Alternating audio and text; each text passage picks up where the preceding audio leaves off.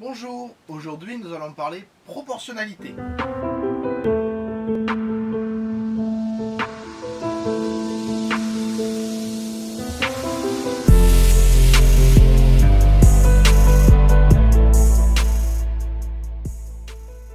Tout d'abord, qu'est-ce que la proportionnalité?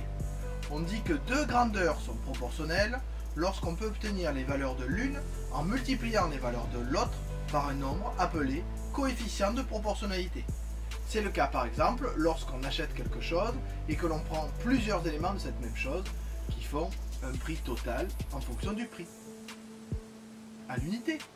Oui, reprenons l'exemple qu'on avait vu en classe. On avait vu que le sable avait une valeur à la tonne, 50 euros, et que pour construire un béton pour fondation, pour reprendre l'exemple qu'on avait fait en classe, il fallait en proportion 2 tonnes et demi de sable. Donc le prix de ces 2 tonnes et demi de sable se calcule en fonction du prix à la tonne, 125 euros. Comment 125 euros? 50 pour une tonne, plus 50 pour une deuxième tonne, plus 25, 50 divisé par 2 pour la demi-tonne. Donc vous voyez là un exemple typique de proportionnalité.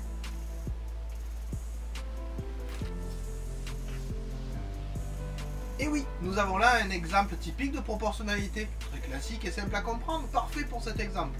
Le prix est proportionnel à la quantité achetée. Et donc nous avons ces deux grandeurs qui sont liées par un coefficient de proportionnalité, le prix à la tonne.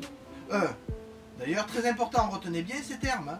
Le coefficient de proportionnalité, qui va vous permettre de retrouver les choses, et les séries de grandeurs qui sont proportionnelles l'une avec l'autre. C'est en retrouvant ces deux éléments que vous saurez si vous êtes dans une situation de proportionnalité ou pas. D'ailleurs, c'est cette même situation qui nous conduit tout naturellement à construire un tableau de proportionnalité. Un tableau de proportionnalité tout simple, c'est un tableau qui présente deux séries de valeurs de grandeur qui sont proportionnelles les unes avec les autres. Donc une ligne est proportionnelle avec l'autre ligne. Hein? C'est relativement simple.